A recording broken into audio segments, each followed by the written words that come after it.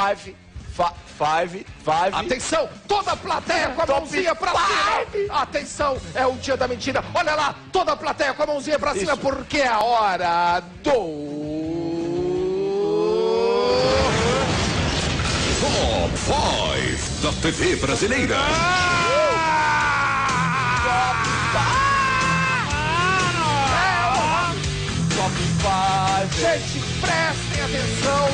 temos hoje um programa especial da mentira.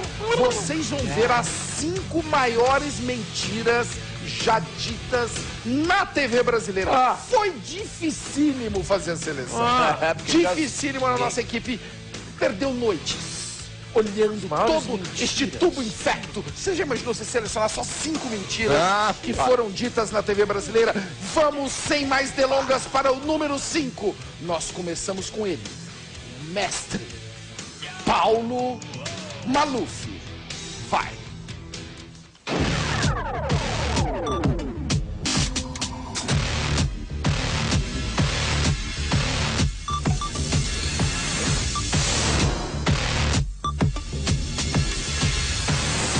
E Paulo Maluf me conhece há mais de 10 anos. E se ele me escolheu, é porque ele conhece o meu caráter e sabe que pode confiar em mim. E por ele eu garanto. Veja bem, garanto tanto que peço a vocês, votem no Pita. E se ele não for um grande prefeito, nunca mais votem em mim. Você sabe, já fiz muito por São Paulo, quero fazer ainda mais. Mais saúde, mais educação, mais segurança. Porém, o mais importante é que eu conto com você. Vote Maluf. Ah, doutor Paulo, se ele não foi um grande prefeito, nunca mais, você, nunca mais vota em mim. E ele voltou. Aí o mas cara- diz que isso, essa foi mentira. Mas na versão original, Versão original desta não frase. tinha mentira. Como que era? O Paulo Maluf disse assim: e se o Pita não for um grande prefeito, ele vai cair morto. Será? Será? Será? No quarto lugar do top 5. Olha, essa história virou filme, o filme Vips. Nós estou falando agora do meu querido amigo Amauri Júnior. Meu amigo Amauri. O Amauri entrevistou quem? O Amauri entrevistou um cara achando que ele era o dono da Gol. Certo? Eu estou falando aqui do nosso ilustríssimo Marcelo, sim, o personagem Marcelo Nascimento Vips. Marcelo Nascimento do filme Vips. E por isso mesmo, a Mauri cai no golpe do Marcelo e vem para o número 4. Vai, Mauri, vai.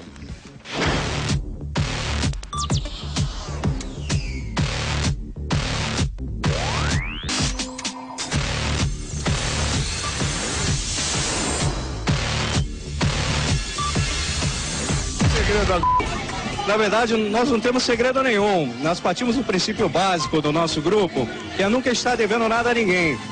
Então nós temos nossos aviões pagos, quitados e, e não fizemos leasing, o que prejudica a aviação. Nós estamos com 10 aeronaves, todas são Boeing 737-700 e estamos recebendo mais quatro até o final do ano. Parabéns, Henrique. Leve o nosso abraço ao Constantino e a toda a diretoria da.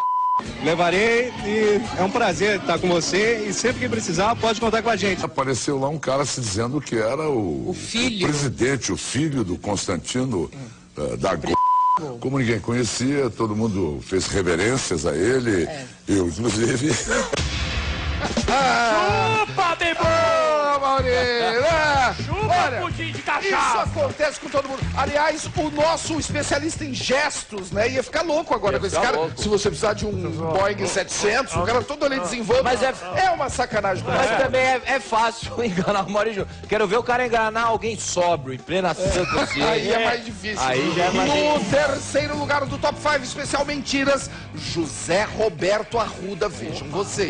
Ele já foi analisado aqui no programa de hoje. José Roberto Arruda no escândalo do painel eletrônico. Lembre disso, senhor telespectador. O painel eletrônico José Roberto Arruda. Que mentira, olha.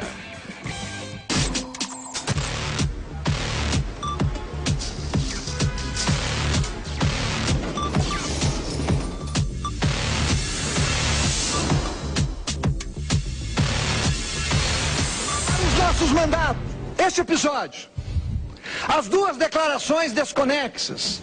O ato que eventualmente foi praticado, a tal lista que não apareceu, tudo isso, senhor presidente, tem que ser investigado até o fim. Mais do que isso, desculpe, mas eu exijo que assim seja. Depois de quatro dias de recolhimento, de reflexão, decidi voltar a esta tribuna. Quando o doutor Domingos me entregou o envelope de papel pardo, sem saber do que se tratava, eu o abri. Lá estava a lista de votação. Eu li. Tinha a relação dos nomes dos senadores com o voto ao lado. Mas olha, mas é o que é mais lindo, o que é mais lindo, ele é enfático nas do- nos dois momentos. Eu não fiz isso. Aí depois, pra ele confirmar, eu fiz isso. O envelope era pardo, tava tudo lá dentro. Eu sou um cagão. É, ele eu foi, sou ele um lá. cagão. Ah, meu Deus. Mas o, o que é pior, gente, é o cara ter que vir pedir desculpa depois de toda essa macheza. Verdade. O E a rabo gente, entre as pernas. é, e a gente fica com dó com a cara dele, a gente até desculpa, Não, né? a gente fica é, com dó da cara dele. Muito dó e pena. Muita pena. No segundo lugar do top 5. Olha, atenção, hoje nós estamos fazendo aqui, eu diria que nós estamos varrendo a memória do Varrendo a memória da memória brasileira, Brasileira. da política brasileira. Os escândalos dos a- o escândalo dos anões. Quem, quem não se lembra? de- Você se lembra Quando a, dos anões? quando a Branca de Neve foi embora. Não, não, Marco Lucas. Ah, esse cara escândalo. João Alves. Ah! O deputado João Alves. Eles ganhavam. Sabe como eles enriqueciam? Não sei. Ele, você vai ver agora, meu Então caro fala, Rafinha. mostra aí. Eles ganhavam muito na loteria Ah, sim, esportiva. claro, mais de não. Gente, olha isso, segundo lugar, mais de 200 vezes na loteria, olha.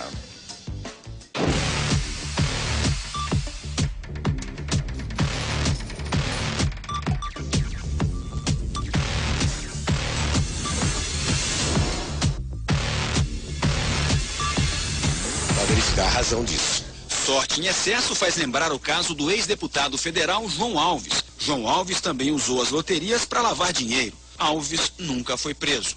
Apresentava-se como um homem ajudado pelos céus. Eu ganho quase toda semana. Eles ficam me criticando porque eu digo que é Deus que ajuda, mas é Deus mesmo que me ajuda. Até eu deixar essa, esse orçamento, eu realmente vi dificuldade financeira. Depois de eu deixei e abandonei e esqueci, Deus me ajudou e eu ganhei dinheiro.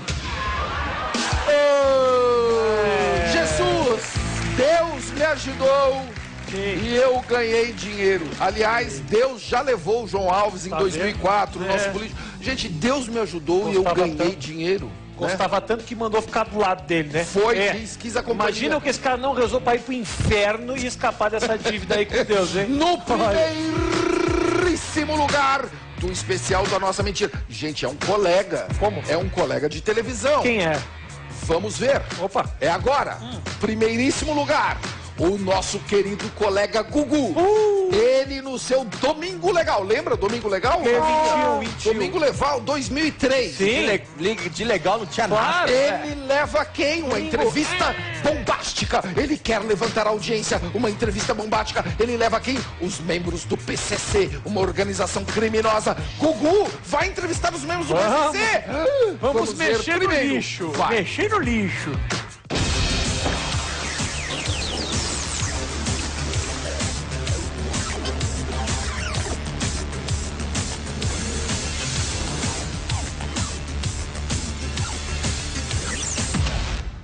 Trouxa aí, que tá falando muito, tipo, esse da Atene e tal, e não vai ficar assim não.